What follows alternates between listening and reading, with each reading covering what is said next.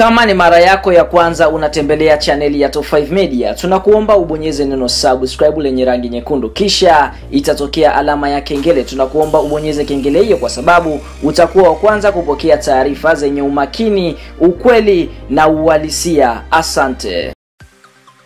E bwana, kama ulikuwa ufahamu ni kwamba dirisha dogo la usajili limeweza kufunguliwa tokea tarehe kumi na sita ya mwezi wa kumi na mbili mwaka elfu mbili na ishirini na moja. Na dirisha hili tunaona litakwenda kufungwa tarehe kumi na tano ya mwezi wa kwanza mwaka elfu mbili na ishirini na mbili. Ifahamike klabu ya soka ya Yanga ni moja ya klabu ambayo inafanya poa kwa sasa katika ligi kuu Tanzania bara. E bwana, kama unakubaliana na klabu ya soka ya Yanga jinsi ambavyo inafanya poa, embu gonga like hapo chini kisha nenda katika sehemu ya comment. Comment kwa upande wako unaifuatilia Yanga ukiwa nchi gani, ukiwa mkoa gani, kisha tuambie kwa upande wako unaikubali Yanga kwa asilimia ngapi. Fanya hivyo, hakika utakuwa shabiki kindakindaki wa klabu ya soka ya Yanga. Tuachane na hayo, turudi katika mada yetu ambayo imeweza kutuleta mezani siku ya leo, ni kuhusiana na kikosi cha kwanza cha timu ya soka ya Yanga, ambapo kikosi hiki kitakwenda kushiriki ligi kuu Tanzania bara na kuhakikisha kwamba kinatwaa kombe hili, kwa sababu malengo ya Yanga msimu huu ni kutwaa kombe la ligi kuu Tanzania bara ambalo wamelipoteza kwa takribani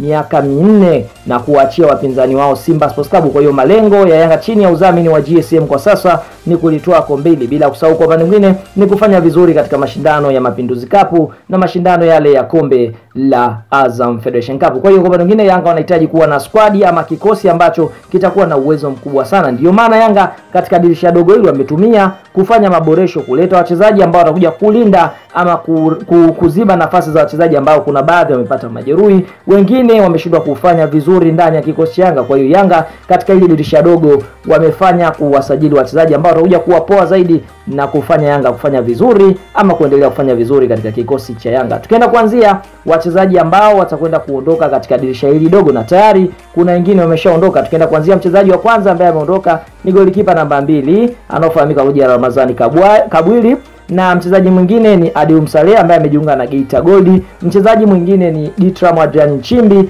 ambaye pia na yeye amejiunga na klabu ya soka ya Geita Gold. Lakini kwa upande mwingine kuna taarifa zinasema kwamba mchezaji anaofahamika kwa jina la Makambo Iteria anahusishwa kujiunga na klabu ya soka ya AC Vita iliyopo nchini Kongo. Vilevile vile Mukoko Tonombe amegoma kuongeza mkataba na inavyosemekana kwamba atauzwa katika klabu ya soka ya RS Berkane katika dirisha hili dogo. Bila kusahau e, wachezaji wengine ni wale ambao wapati nafasi. Yanga wana mpango wa kuwatoa kwa mkopo baadhi, kama mchezaji anaofahamika kwa Dickson Mambundo anahusishwa kutolewa kwa mkopo. E, bila kusahau mchezaji mwingine ni Balama Mapinduzi. Sasa turudi katika orodha wachezaji wa Yanga ambao mpaka sasa wamesajiliwa katika kikosi cha timu ya soka ya Yanga. Tukienda kuanzia mchezaji wa kwanza ambaye tayari ameshatambulishwa ndani ya kikosi cha timu ya soka ya Yanga ni Salumu Abubakar Shua Boy. Huyu alikuwa akiitumikia klabu ya soka ya Azam na mpaka sasa tunavyoongea ameweza kutambulishwa ndani ya kikosi cha timu ya soka ya Yanga. Mchezaji mwingine ambaye amesajiliwa katika kikosi cha timu ya soka ya Yanga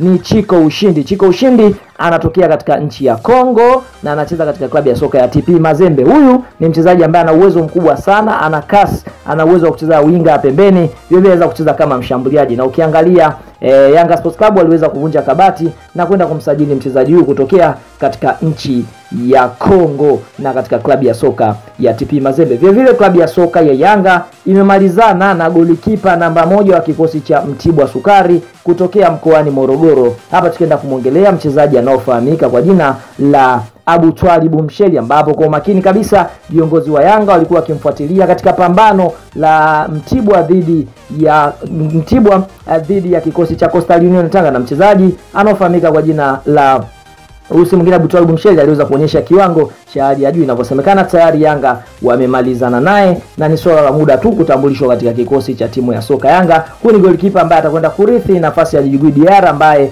atajiunga na timu ya taifa ya Mali kwenda kutumikia mashindano ya AFCON. Kwa hiyo Yanga wamemtafuta mbadala wake mapema tu, lakini kwa upande mwingine ifahamike klabu ya soka Yanga imemalizana na winga machachari kutokea Biashara United. Hapa tukienda kumwongelea e, mchezaji ambaye ni wanamuita Wanda Kidi. Huyu si mwingine ni Dennis Nkane ambaye ana kasi sana, ni kutokana na pendekezo la kocha anaofahamika kwa jina la Mohamed Nasiruddin El Nabi. Mara baada ya Yanga kuingiza wachezaji yao ndani ya kikosi cha Yanga, basi ifahamike hichi ndicho kikosi kipya cha Yanga cha msimu wa mwaka elfu mbili na ishirini na mbili ambapo kikosi hiki kama tulivyokuambia hapo awali kitaenda kuipambania Yanga katika yale makombe ambayo wataenda kushiriki. Tukienda kuanzia golini atasimama Djigui Diarra. Djigui Diarra ni golikipa ambaye ana uwezo mkubwa wa kutumia miguu yake, ana uwezo wa kuchomoa michomo ya hatari. Golikipa huyu tunaona mpaka anapelekwa kuitwa katika timu ya taifa ya Mali, basi ana uwezo mkubwa sana. Kwa hiyo Yanga golini atakuwa ni Djigui diara Huyo ndiyo chaguo la kwanza katika kikosi cha timu ya soka ya Yanga Sports Club. Tukienda kuanzia Eh, Yanga watatumia mfumo wa 442 Diamond. Tukiongea 442 Diamond, basi ni mfumo ambao utakuwa na viungo wengi wachezeshaji na wa striker wawili bila kusahau mabeki wanne. Tukienda kuanzia ukuta wa nyuma, mabeki wanne ambao watakuwa na kazi ya kumlinda Djigui Diarra, basi namba mbili atasimama Juma Shabani. Juma Shabani mpaka sasa tunavyoongea amefanikiwa kucheza mechi zote za ushindani za Yanga kama fullback namba mbili. Ni beki ambaye ana kasi sana, anaanzisha mashambulizi. Na fullback namba tatu atasimama Kibwana Shomari. Hakika watu wengi tunaujua uwezo wa Kibwana, ni mchezaji ambaye anapambana anapokuwa uwanjani. Akipewa jukumu la kumkabidhi kumkaba mtu man to man, basi atafanya kweli na ataonyesha kiwango cha hali ya juu. Lakini kwa upande wa center back namba nne atasimama mchezaji anaofahamika kwa jina Dickson Jobu. Ukimwangalia kiumbo ni mfupi, lakini ana uwezo wa kucheza mipira ya chini na ni mtulivu sana pale anapopata mipira. Mantumani vile vile ni mchezaji ambaye ana uwezo wa kumkaba mpinzani wake anapokwenda kukabana naye. Lakini kwa upande wa namba tano atasimama stopper team captain Bakari Nondo Mwamnyeto ambaye atakwenda kusimama katika ukuta huu wa Yanga Sports Club. Lakini kwa upande mwingine Yanga watakuwa na viungo wanne ni kama ifuatavyo eh, viungo wanne wa timu ya soka ya Yanga Sports Club. Tukienda kuanzia namba sita atasimama yani Kibangala Litombo. yani Kibangala amekuwa na uwezo mkubwa sana anapokuwa uwanjani. Kwa upande mwingine eh, 442 Diamond inakuwa wale viungo wanne katikati wanakuwa kama Diamond, inakuwa ni wanatengeneza kibox fulani hivi ambacho kipo shepu ya Diamond. Kwa hiyo Bangala atasimama namba sita, huku namba nane atasimama mchezaji anaofahamika kwa jina la Salumu Abubakari Shuaboi. Hili ni ingizo jipya ndani ya kikosi cha timu ya soka Yanga. Amekuwa na uwezo mkubwa, ni mchezaji ambaye anakaba, ana kasi sana na uzuri wake atasimama namba nane katika kikosi cha timu ya soka Yanga, huku mchezaji anaofahamika kwa jina la Halidi Aucho yeye atasimama kama namba saba, lakini namba saba yake ataifinyia ndani. Kwa hiyo kutakuwa na viungo wanne ndani. Kwa hiyo Halidi Aucho atasimama kama namba saba, lakini saba yake ataifinyia ndani. Na kwa upande mwingine mchezaji anaofahamika kwa jina Faisal Salum almaarufu kwa jina la Fei Toto atasimama namba kumi ambapo namba kumi ya Fei Toto atakuwa akiwapa nguvu viungo wa juu, na faida mfumo huu, wakati Yanga inashambulia, Salum Abubakari anaongezeka juu Uh, mchezaji Aucho Faisali wanaongezeka juu bila kusahau mabeki wa pembeni. Kwa hiyo Yanga wanakuwa na washambuliaji wengi na wanapokuwa wanazuia wanakuwa na ukuta mkubwa, mabeki watano bila kusahau viungo wengine wanashuka chini. Kwa hiyo Faisali atasimama namba kumi na namba tisa kama kawaida atasimama Fistoni Kalala Mayele, moja kati ya wachezaji ambao wana kasi sana. Ukimwangalia hapo, yeye ndiye atakayesimama namba tisa na namba kumi na moja atasimama Chiko Ushindi. Ni mchezaji ambaye ana kasi sana, anapenda kuingia ndani ya boksi. Kwa hiyo Chiko Ushindi atasimama namba kumi na moja. Hiko ndicho kikosi cha kwanza cha Yanga kama inavyoonekana, lakini wachezaji wa akiba kutakuwa na Abutwalibu Msheli, kutakuwa na ra,